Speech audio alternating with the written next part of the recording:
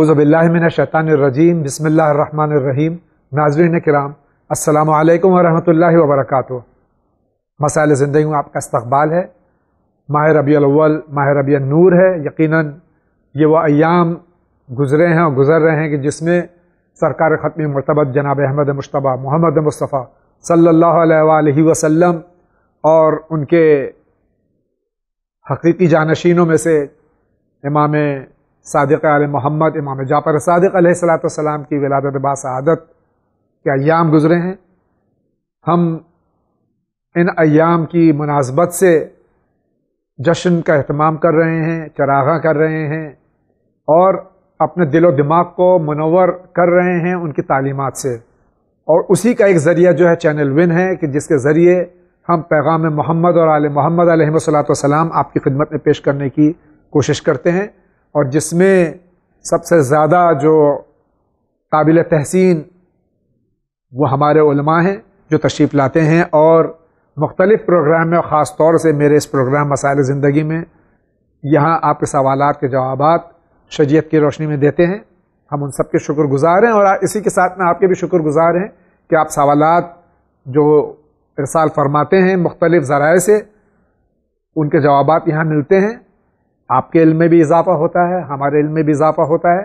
اس امید کے ساتھ ان جوابات کے بعد میں ہم اپنے اندر تغیر اور تبدیلی پیدا کریں اور زیادہ سے زیادہ بہتر انسان بننے کی کوشش کریں، کیونکہ ہمارا موٹو ہی ہے، پیغام انسانیت۔ آج ہمارے اسٹوڈیو میں مہمان ہیں حجت الاسلام، جناب مولانا محمد اسلم صاحب قبلہ۔ ہم ان کا خیر مقدم کرتے ہیں۔ آغا السلام علیکم ورحمۃ اللہ وعلیکم السلام ورحمۃ اللہ وبرکاتہ۔ ان شاء اللہ مزاج بخیر۔ آغا الحمد للہ الحمد للہ آپ کیسے ہیں؟ اللہ کا شکر احسان ہے۔ آغا اور یہ ماہ ربیع نور ربیع الاول جس کی مبارکباد ہم ہر ایپیسوڈ میں ناظرین کی خدمت میں پیش کر رہے ہیں۔ اللہ تعالیٰ سے دعا ہے کہ اللہ تعالیٰ ہمارے مہاراج کرام ہمارے علماء حق اور تمام ناظرین اور تمام مومنین کو صحت و سلامتی و طول و مرتع فرمائے۔ اس ماہ مبارک برکت سے۔ جی بسم اللہ الرحمن الرحیم۔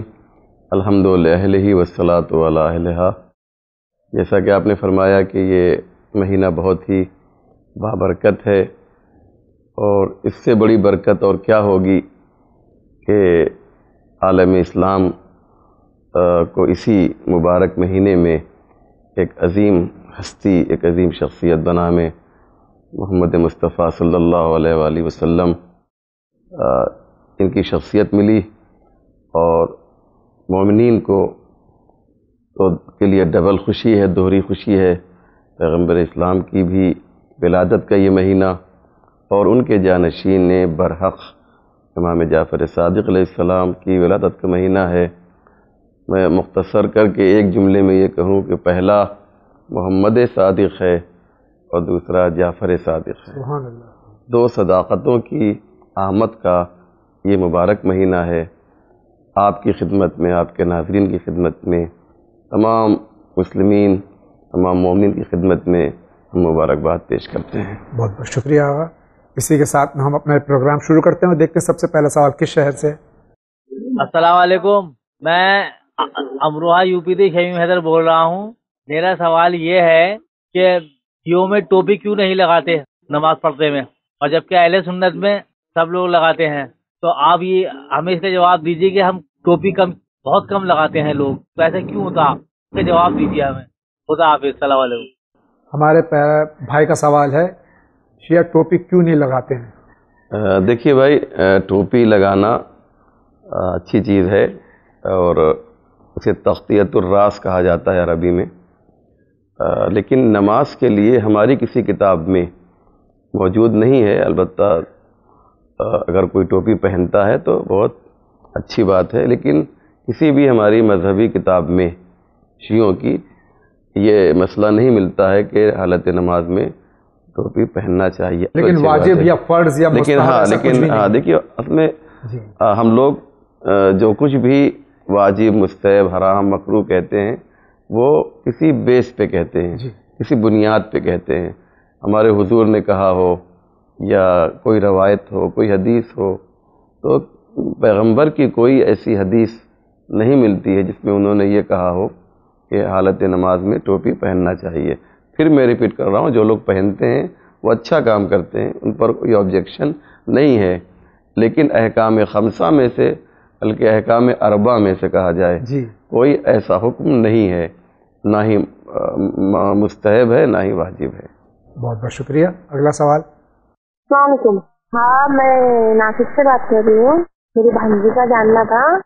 اس پر رشتے آتے پر کسی بات سے ان کی طرف سے نہ ہوتا ہے یا پھر ہماری طرف سے نہ ہوتا ہے۔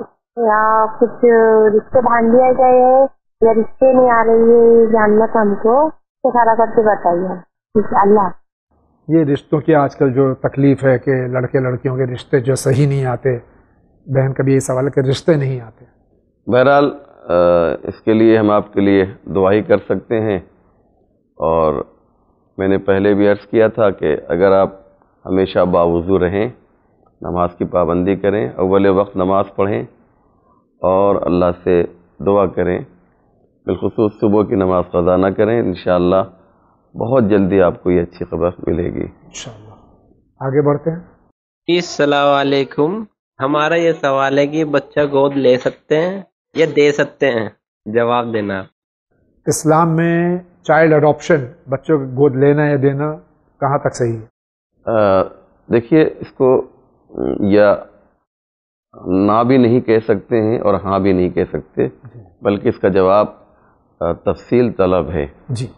وہ لوگ جو محرم ہیں ان کو دینا کوئی مشکل نہیں ہے۔ مثلا جاوید بھائی جی۔ کہ بیٹی ہے آپ کی اور آپ اس بیٹی کو اس کے ماموں کو دے سکتے ہیں۔ یا چچا کو دے سکتے اس کے چچا کو دے سکتے ہیں۔ کیونکہ جب یہ بڑی ہو جائے گی تو یہ کیا ہو جائے گی؟ محرم رہے۔ یہ محرم رہے تو آپ اس کو پیار کر سکتے ہیں اس کو کھلا سکتے ہیں۔ ماموں کے لیے اور چچا کے لیے مثلا۔ لیکن فرض کیجیے لڑکی ہے اور خالو کو دیا جا رہا ہے۔ یا پھوپا کو دیا یا پھوپھا کو دیا جا رہا ہے۔ تو دینے میں کوئی حرج نہیں ہے۔ جی۔ لیکن پھر وہ جب بڑی ہو جائے تو پھر وہ اس سے جو ہے اس کی وہ لڑکی نہیں ہو سکتی ہے۔ لڑکی نامحرم ہوگی۔ وہ نامحرم ہوگی تو نامحرم والا حکم نافذ ہوگا۔ جی۔ تو اگر نامحرم لڑکی کو دیا جا سکتا ہے یا لڑکے کو دیا جا سکتا ہے یا جیسے لڑکا دینا ہے آپ کو جی۔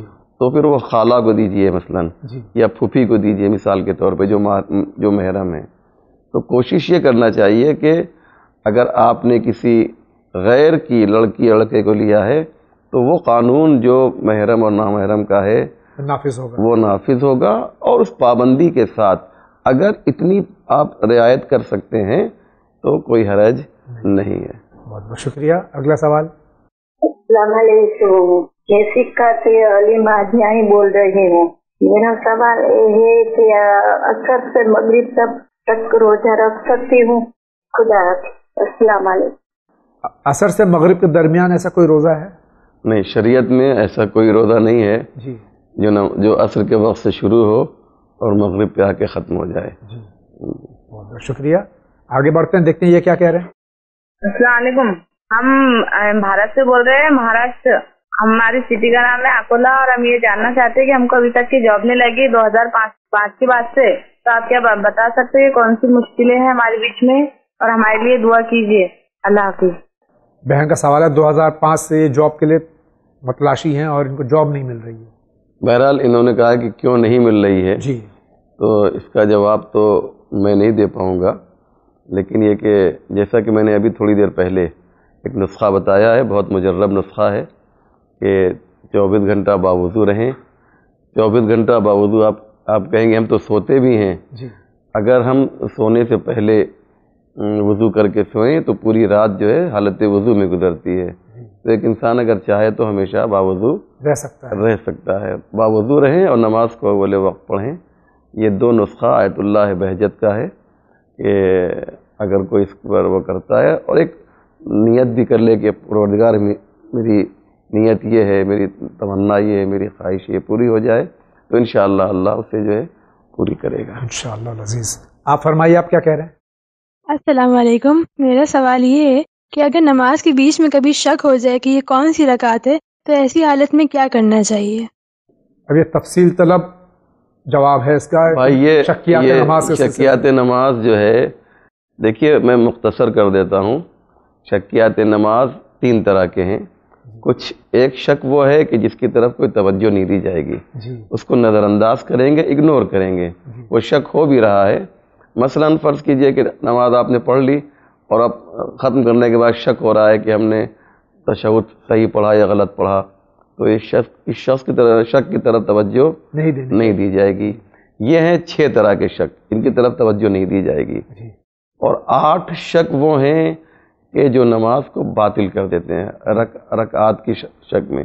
مثلا ایک شک آپ کو بتا دیتا ہوں جیسے صبح کی نماز میں شک ہو رہا ہے دو رکعتی واجب نماز میں۔ جی۔ کہ آپ نے کون سی رکعت پڑھی ہے تو نماز باطل؟ جی۔ مغرب کی تین رکعتی نماز ایک ہی ہے اس میں شک ہو جائے باطل ہو جائے تو نماز باطل ہو جائے گی۔ تو یہ کیا ہے؟ یہ وہ شکوک ہے کہ جو نماز کو باطل کر دیتے ہیں۔ یہ کتنے ہو گئے؟ آٹھ ہو گئے۔ جی۔ آٹھ اور چھ کتنے ہوئے؟ چودہ۔ چودہ ہوئے۔ اور نو شک وہ ہیں کہ جس سے نماز باطل نہیں ہوتی ہے اس کی مرہم پٹی کی جاتی ہے۔ جی۔ نماز احتیاط۔ نماز احتیاط یا سجدہ۔ سہو کر کے۔ تو وہ اس کی طرف جو ہے ذرا جیسے مثلاً تیسری اور چوتھی کے درمیان میں شک ہو جائے کہ تیسری رکعت ہے چوتھی رکعت ہے تو آپ اس کو چوتھی فرض کیجیے اور ایک رکعت نماز کھڑے ہو کر نماز احتیاط کی شکل میں پڑھ لیجیے یا وہی نماز بیٹھ کے دو رکعت پڑھیے تو اس طرح سے کل کتنا ہو گیا جاوید بھائی؟ چودہ۔ ہاں، چودہ اور نو۔ نو۔ تیئیس۔ تیئیس۔ تیئیس طرح کے جو ہے شکیات نماز ہیں۔ اس کی تفصیل کے لیے بہرحال المسائل۔ المسائل میں ہے یا اگر آپ کے پاس کوئی عالم دین ہے آپ کے شہر میں تو آپ ان سے بھی رابطہ قائم کر سکتے ہیں۔ کوئی نہیں مل رہا ہے تو چینل ون کو فون کیجیے۔ ماشاءاللہ چینل ون کے آفس میں آپ کو علماء دستیاب ہیں اور میرے پاس بھی آپ لوگ فون کر سکتے ہیں اس مسئلے شرعی کو پوچھنے کے لیے۔ بہت تفصیلی آپ کا جواب ہے میرے پاس وقت بہرحال نہیں ہے۔ بہت بہت شکریہ۔ آگے بڑھتے ہیں۔ السلام علیکم مولانا جاوید صاحب ہم خیریت سے ہیں۔ سوال یہ ہے کہ ہم جن چینل کے لیے روزانہ کچھ رقم نگرانہ جمع کرتے ہیں۔ کبھی کبھی ضرورت پڑنے پر ہم مجبور ہو کر اس میں سے اس رقم میں سے جو جمع ہوا ہوتا ہے، سو دو سو روپے نکالتے ہیں۔ کچھ دو دن کے بعد یہ رقم جو نکالتے ہیں، وہ واپس جمع کرتے ہیں۔ اب سوال یہ ہے کہ جو عمل یہ ہم یہ کرتے ہیں، یہ صحیح ہے غلط؟ اسی لیے ہم ہمیں تھوڑا وضاحت کر پائے باقی آپ کا دعا پورا بڑھ گا۔ پہلے تو بہت بہت شکریہ۔ یہ جذبہ ہر ایک کے اندر ہم میں سے ہونا چاہیے کہ آپ رقم چینل ون کے لیے روزانہ جمع کرتے ہیں لیکن جب کوئی مجبوری اور وقت پڑتا ہے تو اس میں سے نکال لیتے ہیں۔ یہ صحیح ہے؟ دیکھیے نیت یہ رکھیے کہ یہ پیسہ جو ہم نے نکال لیا ہے یہ ادھار کی شکل میں ہے قرض کی شکل میں ہے۔ جی۔ ہم فوراً واپس کر دیں گے۔ جی۔ اور میں بھی آپ کا چینل ون کی جانب سے دل کی گہرائی سے شکریہ ادا کرتا ہوں کہ آپ کے ذہن میں یہ بات ہے۔ اور جاوید بھائی میں یہ بتاؤں کہ میں مختلف جگہوں پر مجلس کے بہانے سے گیا تو بہت سے لوگوں کو دیکھا جو مالی اعتبار سے بہت زیادہ مضبوط نہیں ہیں لیکن انہوں نے ایک ڈبہ رکھ رکھا ہے ایک برتن۔ اس میں ہر روز وہ پانچ روپے نکال نکالتے ہیں جمع کرتے ہیں۔ میں ایسے لوگوں کو واقعا اپریشیٹ کرتا ہوں۔ اور یقین جانیے کہ یہ جو پانچ روپے آپ لوگ ہر روز چینل ون کے لیے جمع کرتے ہیں اس کے بعد بھیج دیتے ہیں۔ یہ آپ کا یہ پیسہ جو ہے ہمیں یقین ہے کہ بہت اچھی جگہ پر لگ رہا ہے۔ معارف اہل بیت اور مناقب اہل بیت احکام خدا بندی اور یہ تمام چیزیں جس کا تعلق دین اور شریعت سے ہے اس کے بارے میں چینل ون پہ گفتگو ہوتی ہے۔ آپ نے دیکھا ہوگا کہ چینل ون پہ کوئی بیہودہ اور بیکار چیزیں آپ کو نہیں ملیں گی۔ آ، کوشش یہ ہوتی ہے یہاں پر کہ ہر وہ آ، منظر یا ہر وہ فلم یا کوئی ایسی چیز دکھائی جائے جس کا تعلق جو ہے خدا رسول اور ام معصومین سے ہو۔ لہذا میں تمام ناظرین سے گزارش کروں گا کہ براہ کرم یہ جو چینل ون نے ایک سسٹم نکالا ہے کہ ہر شخص اگر پانچ پانچ روپے جو ہے ہر روز جمع کرے اور جب ایک مہینہ ہو جائے تو اسے چینل ون آ، کا- کی جو بینک بینک اکاؤنٹ ہے اکاؤنٹ ہے جی۔ آپ ابھی دیکھیں گے آپ کو اسکرین پہ دکھائی دے گا اس پہ آپ بھیج دیجیے۔ یقین جانیے کہ آپ کا قطرہ جو ہے ہمارے لیے سمندر بن جائے گا۔ بہت بہت شکریہ آغا اسی کے ساتھ میں دیکھتے ہیں یہ کیا فرما رہے ہیں؟ ارے بھیا ابھی میں لکھوایا تھا تو اس کا سمجھ میں نہیں آیا بہرحال پھر سے میں بتا رہا ہوں۔ السلام علیکم۔ یہ مولانا صاحب کو یہ عرض کرنا ہے کہ سنی بنیادی فرق کیا ہے تھوڑا ہم کو بتائیں تفصیل سے۔ اس لیے کہ دونوں تو اہل بیت کو مانتے ہی ہیں تو اس کے بارے میں ہمیں سمجھنا ہے۔ السلام علیکم۔ کہ شیعہ اور سنی میں جبکہ زیادہ کوئی فروئی اختلافات چند کے سوا کچھ نہیں ہے، اس کے باوجود اختلافات کیوں ہیں؟ جبکہ سبھی اہل بیت علیہ صلاۃ والسلام کے ماننے والے ہیں۔ دیکھیے برابر اس کا جواب یہاں سے دیا گیا ہے کہ جو اختلاف لوگوں نے بیان کیا ہے وہ ہے نہیں۔ یعنی جو مشہور کیا گیا ہے کہ سنی اور شیعہ کے درمیان اختلاف ہے، اس سطح پر بہرحال اختلاف نہیں ہے۔ اور اس اختلاف کو ہوا دینے میں اسلام دشمن طاقتوں کا بہت بڑا ہاتھ ہے۔ ہم ان کے پروگنڈے میں نہ آئیں۔ جب میں نے دیکھا ہے جاوید بھائی کہ جب ایک سنی اور ایک شیعہ آپس میں بیٹھتے ہیں تو کافی نزدیک ہو جاتے ہیں۔ لیکن دور دور اس قدر ہمارے خلاف اور ان کے خلاف دشمنان اسلام نے پروگنڈا کیا ہے کہ شیعہ سنی سے الگ ہو گیا ہے اور سنی شیعہ سے الگ ہو گیا ہے۔ یہ بڑا اچھا سوال آپ کا ہو گیا بڑی مناسبت سے بھی ہے۔ جی۔ یہ ہفتہ وحدت ابھی گزرا ہے۔ ہفتہ وحدت امام خمینی رحمۃ اللہ علیہ نے بارہ ربیع الاول سے لے کر سترہ ربیع الاول کے درمیان یہ پورے ہفتے کو ہفتہ وحدت مسلمین کے نام سے منسوب کیا۔ ایران کا جب اسلامی انقلاب آیا تو اس نے سب سے پہلا کام یہی کیا کہ سنی اور شیعہ کے درمیان جو ہے اتحاد قائم ہو۔ الحمدللہ، آج ہمارا دشمن اس اتحاد کے خوف سے ہی لرز رہا ہے۔ وہ جانتا ہے کہ اگر سنی اور شیعہ اور تمام مسلمان متحد ہو جائیں تو جو اسلام دشمن طاقتیں ہیں، ان کا جینا دوبھر ہو جائے گا۔ میں تمام برادران اہل سنت اور تمام شیعہ بھائیوں سے یہ ریکویسٹ کروں گا، یہ گزارش کروں گا چینل ون کے ذریعے سے کہ براہ کرم کوئی ایسا کام نہ کریں یا کوئی ایسی بات نہ کریں کہ جس سے شیعہ اور سنی کے درمیان اختلاف پیدا ہو، دوریاں پیدا ہو، ان کے دل میں دشمنی پیدا ہو۔ ایسے لوگ جو شیعہ اور سنی کے درمیان اختلاف پھیلاتے ہیں، نہ ہی وہ شیعہ ہیں۔ نہ ہی وہ سنی ہیں بلکہ وہ متفنی ہیں بہت بہت شکریہ۔ آگے بڑھتے ہیں۔ السلام علیکم۔ میرا نام فاروق حیدر ہے میں بریلی سے بول رہا ہوں۔ میرا سوال مول صاحب سے یہ ہے کہ جو آج کل چل رہا ہے کہ نماز میں علیم اللہ کی گواہی دینی چاہیے کیا یہ صحیح ہے نماز میں پڑھنا؟ کیونکہ اذان میں صرف گواہی دی جاتی ہے اقاص میں دی جاتی ہے لیکن نماز میں نہیں دی جاتی ہے۔ تو آج کل جو نوجوان بھٹکے ہوئے ہیں جو اخباریت دکھا رہے ہیں کہ نہیں، ہمیں پڑھنا چاہیے، تو اس کا اور مسئلے پہ کیا اثر پڑے گا؟ یہ ہے سوال کا جی ہاں۔ دیکھیے بھائی، بہت اچھا سوال کیا ہے آپ نے۔ پیغمبر اسلام فرماتے ہیں کہ سلو کمارا آئے تمونی اسلی تم اس طرح سے نماز پڑھو جیسے میں نماز پڑھتا ہوں۔ ہم کو پیغمبر کی نماز پڑھنی ہے۔ نماز کے جو احکام ہیں وہ پیغمبر نے صرف بیان کیے ہیں۔ اس قانون کو بنانے والا اللہ ہے۔ بے شک۔ پیغمبر کا صرف اتنا ہی کام ہے کہ جو قانون اللہ نے بنایا ہے اسے وہ من و ان جیسے جس طرح سے بنایا ہے ویسے وہ ہم تک پیش کر دیں۔ پیغمبر کو بھی حق نہیں ہے کہ وہ اس نماز میں کچھ کم یا زیادہ کر سکیں۔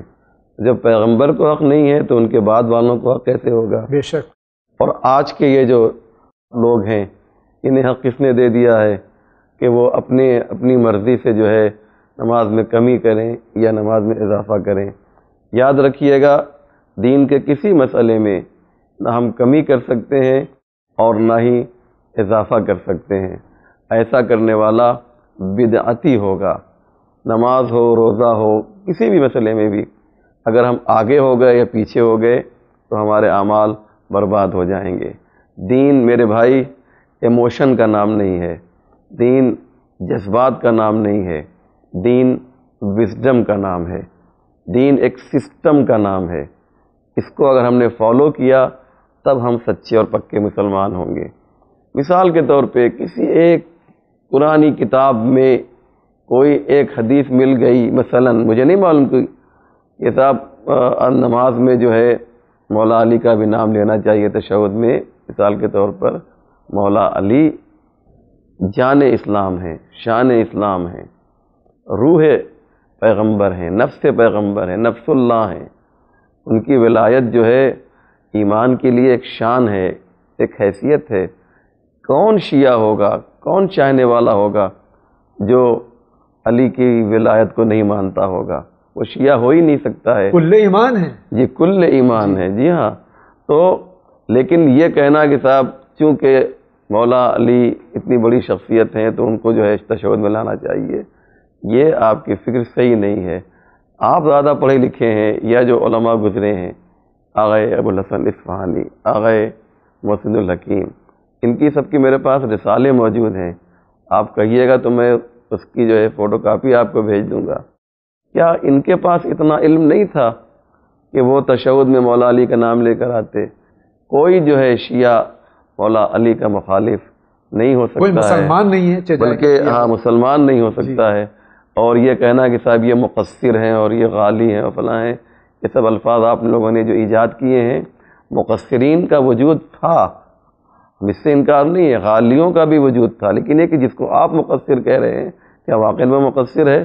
جو تشود میں جو ہے مولا علی کا نام نہ لے وہ مقصر ہے تو آگئے ابو القاسم الخوئی مقصر ہیں آگئے خمینی مقصر ہیں آگئے کوئی سستانی مقصر ہیں اگر یہ سب یہ چیزیں صحیح گزشتہ تمام علماء کرام تمام علماء یعنی جناب شیخ کلینی سے لے کر خمینی تک اور خمینی سے لے کر خامنائی تک سب مقصر ہیں۔ آپ بہت بڑے مولائی ہیں۔ ماشاء اللہ مبارک ہو آپ کو ایسی مولائیت۔ بہت بہت شکریہ آگا اسی کے ساتھ آگے بڑھتے ہیں۔ السلام علیکم میں عبد الباری گوا سے بول رہا ہوں۔ تقریباً آٹھ مہینے سے میں بے روزگار ہوں اور میں چاہتا ہوں کہ مجھے کیا پڑھنا چاہیے اس کے بارے میں آپ بتا دیجیے شکریہ۔ یہ بے روزگار ہیں اور روزگار کے سلسلے میں اکثر ہمارے نوجوان پریشان ہیں۔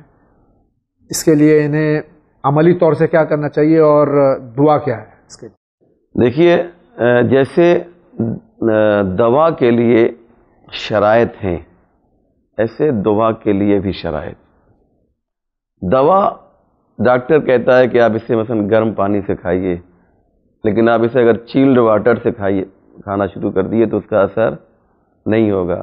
دوا کی ٹائمنگ ہوتی ہے گیپ ہوتا ہے، چار گھنٹے پہ، چھ گھنٹے کے فاصلے پہ کھانا ہے۔ آپ اس کو جو ہے ہر دن میں ایک بار کھا رہے ہیں تو اس کا اثر نہیں ہوگا۔ ایسے ہی دعائیں ہیں۔ بہت سی دعائیں ہیں۔ آپ جتنے علماء سے پوچھیں گے وہ ہر ایک الگ الگ آپ کو جواب دے گا۔ کیوں؟ اس لیے کہ اتنی دعائیں فصل دعائیں بہت سی دعائیں ہیں وسعت رزق کے لیے۔ مثلا آپ مغرب عشاء کے بعد سورہ واقعہ۔ کی تلاوت کریں۔ سورہ طلاق۔ گھبرائیے نہیں سورہ طلاق جو ہے بہت مجرب ہے وسط رزق کے لیے۔ جی۔ اور ایک اور بھی جس کو آپ لوگوں نے بڑا خطرناک سورہ بنا دیا ہے وہ سورہ یاسین ہے۔ میں نے خود دیکھا ہے سورہ یاسین بھی کی بھی عادت ڈال لیجیے تو اس سے بھی اثر پڑتا ہے آپ کی معاشی زندگی پر۔ لیکن میرے بھائی صرف دعا سے کام نہیں چلے گا۔ اپنی زندگی کو پاک و پاکیزہ بنائیے لقمہ حرام سے محفوظ رکھیے جو واجب ہے اسے ادا کیجیے جو حرام ہے اسے ترک ترک کیجیے۔ ہم نہیں کہتے مستحب و مکرو کی طرف توجہ دیجیے۔ کم سے کم واجب و حرام پر توجہ دیں۔ تو انشاءاللہ آپ کو فائدہ ملے گا۔ سورہ طلاق پڑھیے سورہ یاسین پڑھیے۔ دیکھیے چھ مہینے میں انشاءاللہ آپ کو فائدہ ملے گا۔ انشاءاللہ عزیز اگلا سوال۔ اڑیسہ ڈسٹرکٹ نورمپور عمر کوٹ میرا نام ہے سید علی نقیم مدنی۔ میرا سوال ہے کہ کل ساحلات عذاب واقعہ کافرین جو آیت نازل ہوا تھا اور حارث بن نمان شہری کو جو آسمان سے پتھر برتا تھا کیونکہ حارث نمازی بھی تھا حاجی بھی تھا وہ کافر کیسے بنا؟ یہ سوال ہے۔ دوسرا سوال کہ لوت علیہ السلام کی بیوی جہنمی ہے اور نور علیہ السلام کی بیوی جہنمی ہے تو خدا نہ خاصہ ہمارے حضور صلی اللہ علیہ وسلم محمد مصطفیٰ صلی اللہ علیہ کی بیوی اگر اللہ اور اس کے رسول کی نافرمان ہو کیا وہ جہنمی ہو سکتی ہے یا نہیں؟ بس یہی سوال پہلا سوال تو حارث ملون کے لیے ہے جو کہ غدیر میں کا انکار کیا جس نے اور عذاب اس نے کیا قرآن کا میں ذکر بھی ہے عذاب نازل ہوا تو اسلام لانے کے بعد مرتد ہو گیا یا کافر ہو گیا وہ؟ دیکھیے اعلیٰ سائل بے عذاب واقع ایک سائل نے عذاب کا سوال کیا اور وہ عذاب واقع ہو گیا۔ یہ واقعہ جو آپ نے جس کی طرف اشارہ کیا اور آپ چاہتے ہیں کہ تھوڑی اس کی تفصیل بیان کی جائے تو تفصیل بیان کرنے کا وقت میرے پاس نہیں ہے۔ دو تین جملوں میں سن لیجیے۔ کہ حارث ابن نعمان فہری تھا یہ۔ پیغمبر اسلام نے جب غدیر میں مولا علی کی ولایت اور جانشینی کا اعلان کیا، ایک لاکھ بیس ہزار یا ایک لاکھ چوبیس ہزار الگ الگ روایتیں ہیں حاجی جو حج کر کے واپس آ رہے تھے، تو پیغمبر نے وہاں پر ایک جگہ ہے جسے غدیر کہا جاتا ہے، جہاں سے تمام راستے الگ ہوتے ہیں۔ آپ کہہ سکتے ہیں ایک چوراہا ہے کہ وہاں سے عراقی اپنے ملک میں چلے جائیں گے، یمنی اپنے ملک میں، مصر کے لوگ اپنے۔ تو وہاں پر پیغمبر نے روکا، بلکہ اللہ نے رکوایا پیغمبر کو اور کہا کہ یہاں پر علی کی ولایت کا اعلان کر دیجیے۔ تو حارث ابن نعمان فہری نے کہا کہ اگر آپ نے اسے اپنی طرف سے یہ اعلان کیا ہے تو آپ پہ عذاب نازل ہو۔ اور اللہ کی جانب سے اعلان کیا ہے تو مجھ پر عذاب نازل ہو۔ بس اتنی سی بات تھی تو اس کے اوپر اللہ نے عذاب نازل کیا، ایک چھوٹا سا پتھر آیا اور وہیں پہ وہ جل کے ختم ہو گیا۔ اب آپ سے آپ نے یہ کہا کہ وہ کافر کیسے ہو گیا؟ جو پیغمبر پر شک کرے، پیغمبر کے اعلان پر شک کرے کہ پیغمبر یہ کہہ رہے ہیں کہ صاحب یہ خدا نے ہم سے اعلان کرنے کے لیے کہا ہے۔ اور وہ یہ کہہ رہا ہے کہ صاحب اگر آپ نے اپنی طرف سے اعلان کیا ہے تو آپ پہ عذاب نازل ہو۔ ایسا انسان کیسے مسلمان رہ سکتا ہے؟ جو بھی پیغمبر پہ شک کرے کسی لباس میں بھی ہو وہ کافر ہے۔ نمبر ایک۔ دوسرے دوسرا سوال کیا تھا؟ دوسرا سوال جو ہے کہ حضرت نو اور حضرت لوت علیہ السلاۃ والسلام کی جو دونوں بیویاں تھیں ان کے لیے تو قرآن نے کہہ دیا ہے۔ باقی کے لیے ہم کوئی فیصلہ کیسے کر سکتے ہیں؟ دیکھیے ان کا سوال یہ ہے کہ اگر کوئی کسی نبی کی یا پیغمبر اسلام کی کوئی بیوی غلط ہو تو کیا وہ جہنم میں جا سکتی ہے؟ جنت اور جہنم رشتہ دار نہیں دیکھتی ہے عمل دیکھتی ہے جی۔ ایمان دیکھتی ہے۔ اگر ایمان جنتی ہوگا تو کوئی بھی ہو جی۔ وہ جنت میں جائے گا۔ ایمان جہنمی ہو تو کسی کا بھی رشتہ دار ہو جی۔ وہ جہنم میں جائے گا۔ بہت بہت شکریہ۔ اگلا سوال۔ السلام علیکم جاوید بھائی اور میرے مولانا کو بھی میرا سلام۔ جاوید بھائی، آپ سے اور آپ کی ٹیم سے میری بہت دستانہ گزارش ہے کہ لاسٹ ٹائم بھی میں نے ایک سوال پوچھا تھا، اس کا آپ لوگوں نے اس کو ایڈ نہیں کیا۔ پھر وہی سوال میں آپ لوگوں سے پوچھنا چاہ رہا ہوں۔ اور ون چینل کے تھرو یہ بتانا بھی چاہ رہا ہوں کہ میرے مولانا کے بارے میں بتائیں کہ خمس کے بارے میں زیادہ سے زیادہ بتائیں۔ اور دوسرا، کہ شہداؤں کے سر شام میں رہائی کے بعد کہاں گئے؟ اس کے بارے میں کیونکہ کئی علماء سے میں نے یہ سوال پوچھا بٹ وہ مجھے صحیح جواب نہیں ملا۔ اور تیسرا یہ ہے کہ جو امام کو غیب کی انفارمیشن جو ہوتی ہے، تو کیا وہ سارے اماموں کو ہوتی ہے؟ جیسے کربلا میں پانچویں امام بھی تھے، چوتھے امام بھی تھے، تیسرے امام تھے۔ تو امام حسین کو بھی غیبی علم تھا، یا اس کے بعد جناب زین العابدین کو، محمد باقر کو۔ علیہ السلام کو، یہ کیا تینوں لوگوں کو غیب کا علم تھا کہ صرف امام حسین کو یہ غیب کا علم تھا؟ یہ مجھے بتائیں اور آپ سے معدبانہ گزارش ہے کہ اس میرے سوال کو ایڈ کریں۔ شکریہ، خدا حافظ۔ پہلی بات تو یہ کہ پہلی بار آپ کی آواز سن رہا ہوں اور یہ سوال آپ کا میرے سامنے پہلی بار یہاں دیا گیا ہے۔ پھر بھی اس کے باوجود میں معذرت خواہ ہوں کہ آپ کا سوال اب تک نہیں لیا گیا۔ لیکن اس طرح کے سوالات متعدد بار آئے ہیں اور ان کا مفصل جواب یہاں سے دیا جا چکا ہے۔ اور کئی بار جواب دیا جا چکا ہے۔ پہلا سوال تو بھائی کا یہی ہے کہ حضرت سید الشہداء امام حسین علیہ السلاۃ والسلام کے اور جو شہداء کربلا علیہ السلاۃ والسلام ہیں، ان کے سر ہائے مقدس جو کہ ہمارے متفق ہے، روایت وہ یہ ہے کہ جس میں اطہر کے ساتھ میں ہی ان تمام بزرگواروں کے دفن کیا گیا۔ اور مختلف روایات ہیں لیکن جو قوی نہیں ہیں۔ آپ کیا فرماتے ہیں؟ جی ہاں جو سب سے معتبر روایت یہ ہے کہ جتنے بھی شہداء کے سر ہیں وہ دفن کیے گئے ہیں ان کے جسم کے ساتھ۔ کربلا کربلا میں دفن کیے گئے ہیں۔ جی۔ امام حسین کا سر بھی کربلا میں دفن دفن کیا گیا ہے۔ دوسرا سوال ان کا جو ہے علم غیب کیا کیا ہر وقت معصوم علم غیب سے کام لیتا ہے یا جس وقت مصلحت ہوتی ہے اس وقت کام لیتا ہے؟ اس میں پہلے تو علم غیب کی دو قسمیں ہیں۔ جی۔ ایک علم غیب نظری ہے جی۔ اور ایک علم غیب بدیہی ہے۔ جی۔ علم غیب بدیہی اللہ کے پاس ہوتا ہے بے شک۔ اور علم غیب نظری معصومین کے پاس ہوتا ہے۔ جی۔ چاہے وہ انبیاء ہوں یا علم معصومین ہوں۔ علم غیب بدیہی کا مطلب یہ ہوتا ہے کہ میں آپ سے پوچھوں ایک سوال آپ سے کرتا ہوں ابھی۔ آپ مجھے جواب دیجیے کہ آپ یہ بتائیں جاوید جاوید بھائی کہ دو اور دو کتنا ہوتا ہے؟ جی میں کروں گا چار۔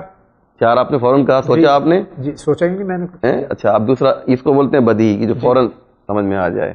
نظری یہ ہے کہ میں آپ سے ایک سوال کروں کہ بارہ ہزار ایک سو پچپن اور پندرہ ہزار دو سو چالیس کتنا ہوا؟ جلدی بتائیے۔ مجھے وقت لگے گا اس میں۔ وقت لگے گا۔ اس کو بولتے ہیں نظری نظر کرنا پڑے گا غور کرنا پڑے گا۔ ایسے ہی معصومین کا جو علم غیب ہے وہ علم غیب نظری ہے۔ وہ چاہیں گے چاہیں گے تو معلوم کر لیں گے۔ جی۔ اور خدا کس کے لیے بالکل واضح ہے ایک دم کلیئر سامنے ہے۔ کوئی بھی علم ہو۔ تو اور ہم لوگوں کے پاس تو کوئی وہ خالق علم ہے۔ ہدیہ خالق علم ہے اور عام لوگوں کے پاس نہ علم غیب جی۔ نظری ہے نہ علم غیب بدہی ہے۔ ان کا سوال یہ ہے کہ کیا امام تمام اماموں کے پاس علم غیب ہے؟ جی ہاں ہر امام کے پاس علم غیب بدیہی نہیں بلکہ علم غیب نظری ہوا کرتا ہے۔ یعنی جب وہ چاہیں گے تو معلوم کر لیں گے۔ ان میں کیپیسٹی ہے استعداد ہے صلاحیت ہے کہ وہ اگر چاہیں تو معلوم کر سکیں۔ بہت بہت شکریہ آغا۔ اسی کے ساتھ میں دیکھتے ہیں یہ کیا فرما رہے ہیں۔ السلام علیکم مولانا۔ مولانا میری شادی کو اٹھارہ سال ہو گئے ہیں اور اٹھارہ سال سے میں برابر کہہ رہی ہوں اپنے شوہر سے کہ طہارت لیا کرو اور نماز پڑھا کرو۔ نہ وہ نماز پڑھتے نہ طہارت لیتے اور ویسا ہی سیم میرا بیٹا اٹھ رہا ہے اور میں نے ان سے کہہ دیا ہے کہ اگر وہ لوگ طہارت نہیں لیں گے نماز نہیں پڑھیں گے تو نہ تو میں نماز پڑھوں گی اور میں بے پردہ پھروں گی۔ اس عالم میں مجھے کیا کرنا چاہیے؟ ان پہ اس بات کا بھی فرق نہیں ہے۔ اگر کوئی شخص طہارت نہیں کرے نماز نہیں پڑھے اور ہم با طہارت رہے نماز پڑھیں تو ان کی ضد میں ہم بھی یہ چھوڑ دیں کہاں تک صحیح ہے؟ یہ میری بہن یہ صحیح نہیں ہے جی۔ کہ آپ اپنے شوہر کی غلطیوں کی وجہ سے گناہ کرنے کی وجہ سے آپ بھی گناہ کریں۔ ایک شخص گناہ کر رہا ہے اور آپ بھی وہی آپ بھی دوسرا گناہ کریں تو یہ تو عقل کے خلاف ہے شریعت کے بھی خلاف ہے عقل کے بھی خلاف ہے۔ آپ ان کو سمجھائیے۔ دیکھیے ان نمان مذکر لست علیہم بے مسیطر پیغمبر سے اللہ نے کہا کہ دیکھو تمہارا کام سمجھا دینا ہے۔ وما علینا الا البلاغ۔ تمہارا کام صرف پہ- پہنچا دینا ہے۔ لست علیہم بے مسیطر تم کو داروغہ بنا کر نہیں بھیجا گیا۔ یہ ترجمہ کیا ہے؟ مولانا فرمان صاحب نے صاحب نے جی ہاں۔ مسیطر کا ترجمہ کیا ہے داروغہ جی تم داروغہ بنا کر جو ہے ان پر نہیں بھیجے گئے کہ ان کو ڈنڈا لے کے جو ہے پیچھے پڑ گئے ہو کہ نماز پڑھو نماز پڑھو۔ ہم لوگ جو ہے کہہ دیتے ہیں آرام سے آپ اس پہ عمل کیجیے۔ یہ بڑی اچھی بات ہے کہ آپ اپنے شوہر سے کہتی ہیں کہ بھائی تم جو ہے با طہارت رہا کرو نماز ہاں۔ یہ یہ اچھی بات ہے۔ لیکن یہ کہ اگر وہ نہیں کر رہا ہے تو وہ خود ذمہ دار ہے۔ اور آپ کے شوہر جو ہے یقیناً اس وقت مجھے دیکھ رہے ہوں گے اور سن رہے ہوں گے بھیا ایسا نہیں کیجیے اب بھی آپ کی اہلیاں ہیں ان کا ان کا دل جل رہا ہے آپ کی غلطیوں سے۔ وہ جانتی ہیں کہ اس کا نقصان کیا ہے۔ ان کے گناہ گار نہیں اللہ کے گناہ گار ہاں ہاں کم سے کم اللہ کو تو سامنے رکھیے۔ جی۔ بیوی کی بات نہیں مان رہے ہیں تو جو بیوی کا خالق ہے پروردگار اس کی بات مانیے۔ اور یہ جو آپ نجاست وغیرہ میں رہتے ہیں یا نماز نہیں پڑھتے ہیں پلیز ایسا نہیں کیجیے۔ آپ اپنی بیوی کی بات مت مانیے مولانا اسلم کی بات مان لیجیے چلیے۔ بہت بہت شکریہ آغا۔ یہ سائل کیا فرما رہے ہیں؟ السلام علیکم۔ جی میری بھابھی ہے ان کا ان کی شادی کو تین سال ہو گئے ان پہ کچھ اثرات ہے جیسے حاضری۔ تو کیا ان کے ان کا یہ سوال تھا کہ کہ حاضری جو ہے جو ان کے شوہر کے روزے روزگار پہ اثر کر رہی ہے؟ تو یہ سب سے نکلنے کا کیا سلوشن ہے کیا دعائیں ہیں؟ آپ بتائیے۔ السلام علیکم۔ یہ حاضری کیا ہوتی ہے؟ بھائی میں تو میرے لیے بھی یہ تحقیق طلب بات ہے۔ جی۔ یہ حاضری کیا چیز ہوتی ہے؟ زیادہ تر میں نے دیکھا ہے کہ لوگ درگاہوں پہ اور مندروں پہ اور یہاں وہاں یہاں وہاں جھوم رہے ہیں۔ جی۔ میں میں اس سے بہت نابلد ہوں جی۔ اور میرا علم اتنا ابھی مضبوط نہیں ہوا ہے کہ میں حاضری کو سمجھ سکوں۔ جی۔ چھوٹا سا ایک طالب علم ہوں۔ یہ دماغی مرض ہے اگر اس کا ڈاکٹر جی کے ہاں، پاس علاج ہے۔ اس کا علاج کروائیے۔ لیکن اگر ہاں اگر سحر اور جادو ہے جی۔ تو اس سے انکار نہیں کر رہا ہے اسلام۔ جادو لوگ کرتے ہیں۔ سفلی عمل ہوتا ہے جادو ہوتا ہے لیکن کسی کو ذرا سی ذرا سی کھانسی آ گئی جی۔ ذرا سا نزلہ ہو گیا تو اب کہیں اس کو حاضری آ رہی ہے اس کو کچھ ہو گیا ہے۔ جتنا ہم لوگوں نے بڑھا چڑھا دیا ہے حاضری کے سلسلے میں وہ صحیح نہیں ہے۔ ہاں اگر واقعی کسی پہ جادو کیا گیا ہے تو اس پر اس کا اس کا علاج ہے۔ جو اچھے عامل ہیں جو ریئل جی۔ ڈپلیکیٹ نہیں۔ ابھی عامل بھی تو بہت ہر طرح کے ہیں۔ جی۔ جو وہ ان کو دکھلائیے وہ آپ کا مسئلہ حل کریں گے۔ ٹرین والے عامل نہ ہوں۔ بالکل بالکل۔ اور وہ یہ لوکل لوکل ہی ہوتے ہیں اس جی، طرح کے ہیں جی۔ ہاں تو ایک اچھے عامل کو دکھلائیے اور قرآن کی تلاوت زیادہ کیجیے قرآن پڑھیے۔ آپ اپنی۔ ان کی شاید بھابھی کی بات کر جی رہی جی تھی۔ جی۔ تو وہ جو ہے با باوضو رہیں نماز پڑھیں قرآن کی تلاوت زیادہ زیادہ کریں۔ اور سورہ الحمد اور چاروں قل اور آیت الکرسی جتنی زیادہ ہو سکے پڑھیں۔ انشاءاللہ انشاءاللہ یہ مسئلہ آپ کا حل ہو جائے گا۔ ڈاکٹر کے پاس ضرور جائیں۔ جی ہاں۔ آئیے ایسے کے ساتھ آگے بڑھتے ہیں۔ میں رامپور سے بول رہا ہوں رامپور اتر پردیش سے۔ میرا سوال یہ ہے کہ جو فجر کی ہم نماز پڑھتے ہیں اگر ہم ٹائم پہ پڑھتے ہیں فجر کے اذان کے بعد تو اس کے ساتھ سنت شہر کا کب پڑھنا چاہیے یہ سوال ہے پہلی بات تو میں میرے بھائی آپ سے اور تمام ناظرین سے جو نئے جڑے ان سے یہ ایک بار پھر میں ہاتھ جوڑ کر یہ بات عرض کر دوں۔ کہ جب آپ کا ٹیلی فون لگ جائے برائے مہربانی پیچھے کے ڈسٹربنس کو ختم کریں، اپنے ٹیلی ویژن سیٹ کو میوٹ کر دیں تاکہ آپ کا سوال واضح طور سے سمجھ میں آئے۔ اکثر سوال جو سمجھ میں نہیں آتے ہیں ہم رد کر دیتے ہیں، بعد میں آپ کو شکایت ہوتی ہے۔ جو میری سمجھ میں آیا آپ کا سوال، غالباً یہ ہے کہ صبح کی نماز، فجر کی نماز اول وقت میں اگر ہم پڑھیں تو شاید انہوں نے یہ کہا کہ نفل کب پڑھیں۔ نہیں، جو جو سسٹم ہے، آپ اس کو جو ہے ادا کیجیے بعد میں نہیں پڑھیے۔ پہلی دو رکعت پڑھیں پہلے دو رکعت پڑھ لیجیے پھر نماز صبح پڑھیے۔ بہت بہت شکریہ آگے بڑھتے ہیں۔ جناب میں محمد ظفر زیدی علی گڑھ سے بول رہا ہوں۔ مولانا طاہر جاوید بھائی السلام علیکم۔ میرا آپ کے درمیان سوال یہ ہے کہ جو ہم درود پڑھتے ہیں اللہ صلی علی محمد و آل محمد۔ اس میں جناب رسول اللہ صلی اللہ علیہ وسلم کے اوپر رحمت نازل کرنا اور ان کی آل پر رحمت نازل کرنا اس میں حضرت علی کو ایکسکلوڈ کیوں کیا گیا ہے۔ کیونکہ پورے درود میں حضرت علی کا تو کئی نشان نظر آتا ہی نہیں ہے تو مولا علی کا جب ہم نام لیتے ہیں، جب درود پڑھتے ہیں ویسے۔ لیکن درود میں ان کا نام شامل نہیں ہے، اس کی کوئی خاص وجہ ہے، اس کی وجہ کروائیے گا ہمارے بزرگوار کی غلط فہمی ہے کہ جب ہم درود پڑھتے ہیں اللہ صلی علی محمد و علی محمد اس میں مولانا متقیان امیر المومنین یاسوب الدین علی ابن ابی طالب علیہ السلاۃ والسلام شامل نہیں۔ غلط فہمی یقیناً یا تو جی ہاں، دیکھیے- جانتے ہیں جی۔ یہ نوجوانوں کے لیے سوال کر جی ہاں دیکھیے اس میں جب ہم کہتے ہیں محمد و آل محمد تو آل محمد میں جو ہے مولا علی بھی آتے ہیں۔ اس کی دلیل سن لیجیے کیا ہے کہ جب چادر میں پانچ شخصیتیں جمع ہو گئیں تو پیغمبر نے کیا کہا؟ اللہم ان ہاولا اہل بیتی۔ جی۔ تو یہ جو چادر میں آ چکے ہیں جی۔ چادر میں کون کون آیا ہے؟ علی فاطمہ حسن حسین علیہ مولا علی ہے نا؟ جی بے شک۔ تو کہا یہ ہماری اہل بیت ہے یہ ہماری آل ہیں۔ جی۔ جب پیغمبر خود مولا علی کو اپنے اہل بیت میں داخل کر رہے ہیں تو آپ کیوں نکال رہے ہیں ان کو؟ بے شک۔ جی ہاں۔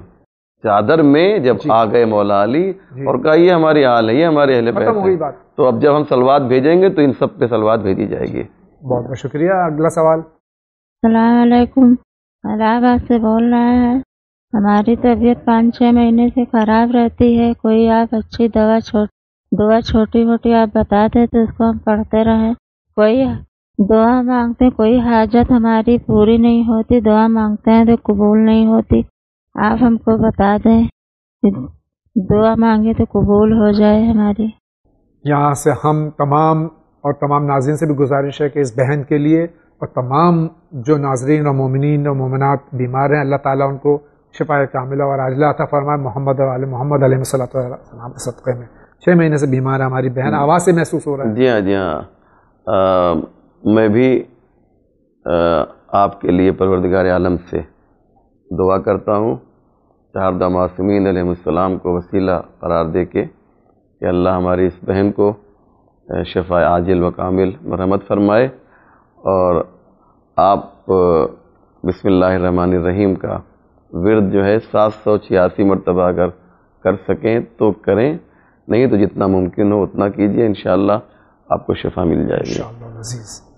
آپ فرمائیے آپ کیا کہتے ہیں؟ السلام علیکم میں میرٹھ سے بول رہی ہوں اور میں یہ پوچھنا چاہتی ہوں کہ میں نے منت مانگی تھی وہ منت پوری ہو چکی ہے لیکن کسی وجہ سے ہم وہاں نہیں جا پا رہے دور کی وجہ سے اور پریشانی کی وجہ سے۔ تو میں یہ پوچھنا چاہتی ہوں کہ ہم پہ جو پریشانی آ رہی ہے کیا یہی وجہ ہے منت نہ پوری کرنے کی؟ ہمارے یہاں منت جس کو شرع شریعت میں نظر کہتے ہیں اگر ہم نے نظر شرعی کی ہے اور پوری ہو گئی ہم نے پوری نہیں کی ہے اس تو کیا اس وجہ سے پریشانیاں آتی ہیں؟ دیکھیے ان کا سوال یہ ہے جاوید بھائی جی۔ کہ محترمہ نے یہ فرمایا کوئی منت مانی کہ ہم نے ایک نظر کی یعنی ایک منت مانی۔ اور وہ اس کو ہم پورا کرنے پر قادر نہیں ہیں۔ جی۔ اگر یہ ہے کہ آپ اس کو پورا نہیں کر سکتی جیسے مثال کے طور پہ ایک ہم نے منت مانی کہ اگر مثال کے طور پہ میرا بچہ ٹھیک ہو جائے گا تو ہم کربلا جائیں گے زیارت کرنے کے لیے۔ جی۔ پاسپورٹ نہیں بن رہا ہے مثلا۔ جی۔ تو جب تک پاسپورٹ نہیں بن رہا ہے اس کو ادا کرنا آپ کے لیے ضرور محال ہے۔ جا ہی نہیں سکتی ہیں تو تب تو کوئی بات نہیں ہے۔ لیکن اگر مشکل ہے تھوڑا جا سکتے ہیں لیکن جانے میں ذرا سی زحمت ہے تو وہاں پہ نظر کو فوراً منت کو فوراً پورا کرنا چاہیے۔ اب یہ بال ان کے کورٹ میں ہے۔ جی۔ یہ خود بتائیں کہ کس حد تک جو ہے ممکن ہے۔ مشکل اور محال کے درمیان میں اگر معاملہ رکا ہوا ہے تو محال اگر ہے تب تو آپ کو اختیار تب تو آپ کو نہیں نہ کیجیے لیکن اگر ممکن اور مشکل ہے تو منت کو پورا کرنا پڑے گا۔ البتہ یہ کہنا کہ صاحب جو ہماری وہ پریشانی آ رہی ہے وہ منت کو پورا نہ کرنے کی وجہ سے ہے۔ ایسا نہیں۔ ایسا نہیں ہونا چاہیے۔ پروردگار ارحم الراحمین ہے۔ جی ہاں۔ شکریہ۔ اگلے سائل کی طرف بڑھتے ہیں۔ السلام علیکم۔ میں دلی سے بول رہی ہوں اور میں نماز پڑھنے کے لیے جاتی ہوں وضو کرتی ہوں۔ اور مسلی میں کھڑی ہوتی ہوں نماز کے لیے، تو مجھے گیس کا شکایت مطلب گیس ہو جاتے ہیں اور نماز پوری طرح سے پوری نہیں پڑھ پاتی ہوں اور جتنے بار وضو بناؤ اتنے بار وہی شکایت ہوتے ہیں۔ تو اس کو روک کے میں نماز ادا کرتی ہوں۔ تو کیا میرے نماز قبول ہوں گے؟ اس کا سوال آپ مجھے بتائیے۔ طہارت وضو کے ذریعے کر لیتا ہے انسان، اس کے بعد میں گیس کا مریض ہے اگر، شدت کے ساتھ میں مرض ہے، اس کے لیے کیا حکم؟ ہے دیکھیے آپ کو ہر نماز کے لیے اگر مسلسل یہ بیماری ہے ہر منٹ پہ ہر آدھا منٹ پہ تو کم سے کم آپ کو ہر نماز کے لیے ایک وضو کرنا پڑے گا۔ بہت بہت شکریہ۔ آگے بڑھتے ہیں۔ میں کانتی ناگپور ڈسٹرکٹ سے طالب حسین اس سے پہلے بھی سوال کیا تھا۔ سوال میں مجھے best question of the week کا ایوارڈ بھی دیا گیا جو مجھے آپ کا بھیجا ہوا سامان جو ایک کتاب اور مومنٹوں کی شکل میں ہے۔ بہت بہت شکریہ آپ کے بھیجنے کا۔ جی ہاں اب اگلا سوال ہے میرا کہ فرائض کے امور کی انجام دہی کروانے کا، جیسے نماز نماز پڑھانا، دینی مسائل کا بتانا، مدرسہ پڑھانا اور دیگر فرائض دینی کی انجام دہی کروانا۔ اس کا، اس کی اجرت لے کر کے کوئی کام کرنا۔ کس امام، کس نبی کی سیرت و سنت ہے؟ اور یہ کیسا پیسہ ہے کون سی امام کے پیسے سے ملتا جلتا۔ مہربانی کر کے مجھے اس کا جواب چاہیے۔ تاکہ ہمارے علماء جو اس طریقے سے اس کو اس انجام دہی کے کروانے کو اپنا پیشہ بنائے ہوئے ہیں، شریعت میں اس کی کیا جگہ ہے اور کیا حکم فقط وسلام مہربانی۔ یہ ہمارے بھائی سوال کر رہے ہیں کہ دینی خدمات کے لیے جو واجبات ہیں، نماز پڑھانے کی اجرت مسائل بتانے کی اجرت یا مجلس کا بھی میں ذکر کر دوں مجلس پڑھنے کی اجرت اس کو پروفیشن بنانا یا اس کے پیسے لینا کیسا کہاں تک صحیح ہے؟ دیکھیے پہلا مسئلہ تو یہ ہے کہ مستحبات کے لیے اجرت لی جا سکتی ہے۔ جی۔ بلا شک و شبہ۔ واجبات میں جیسے نماز پڑھانا ہے نماز میت پڑھانا ہے یہ براہ راست نماز کی اجرت نہیں لی جا سکتی ہے۔ جی۔ لیکن وہاں تک پہنچنے کے لیے جو زحمتیں اٹھائی جاتی ہیں یہ اجرت اس کی لی جاتی ہے۔ جی۔ ان کا سوال ایک یہ بھی ہے کہ کسی امام سے بتائیے کہ انہوں نے پیسہ دیا ہو لیا ہو مثلا نیک کام کرنے کا۔ تو میں آپ کو ایک چھوٹا سا واقعہ نقل کرتا ہوں۔ بسم اللہ۔ اور ہمارے تیسرے امام امام حسین علیہ السلام السلام۔ کے فرزند کی جب بسم اللہ کرائی گئی جی۔ تو امام حسین علیہ السلام نے مدینے کے ایک معلم کو بلایا معلم قرآن کو بلایا جی۔ ایک استاد کو ایک ٹیچر کو بلایا جی۔ اور کہا کہ ان کے ذریعے سے جو ہے بسم اللہ ہوگی۔ اور مولا وہ آیا اس نے آ کے کہا کہ یا بنیا اقرا بسم اللہ الرحمن الرحیم۔ بس اتنا ہی۔ اس نے مولا امام حسین کے فرزند نے الظاہر جناب علی اکبر تھے۔ جی۔ تو انہوں نے کہا کہ بسم اللہ الرحمن الرحیم کا بس بحاد المقدار یکفی اتنا کافی ہے۔ دس مچ از انف جی۔ بس اتنا ہی اس نے کہا۔ جی۔ اس کے بعد امام نے کہا کہ اس کو اتنے جوڑے دیے جائیں کپڑے دیے ڈریس اور اس کا منہ موتیوں سے بھر دیا جائے۔ اور بھی بہت بہت کچھ دیا کافی سامان وامان لے کر کے آیا وہ۔ تو کیا تھا یہ؟ یہ کیا چیز تھی یہ ایک طرح کی؟ ایک طرح کی اجرت ہی کہا جائے گا نا مستحب کام لیا لیا جا سکتا ہے۔ تو اتنا دے دیا اتنی موتی وہ بھی وہ بھی پورا منہ بھر دیا تھا اور اور اتنے کپڑے دیے تھے کہ اس کو اٹھانا اس کے لیے مشکل ہو رہا تھا۔ تو اب سنیے جاوید بھائی اس لیے میں نے زحمت دی اللہ۔ کہ لوگوں نے پوچھا کہ اتنے سے چھوٹے سے کام کے لیے اتنا کچھ دے دیا آپ نے؟ اتنا زیادہ۔ تو اب وہ قیامت کا جملہ ہے۔ میں عربی میں ولفظ پڑھ رہا ہوں۔ وہ جملہ پڑھ رہا ہوں امام کا۔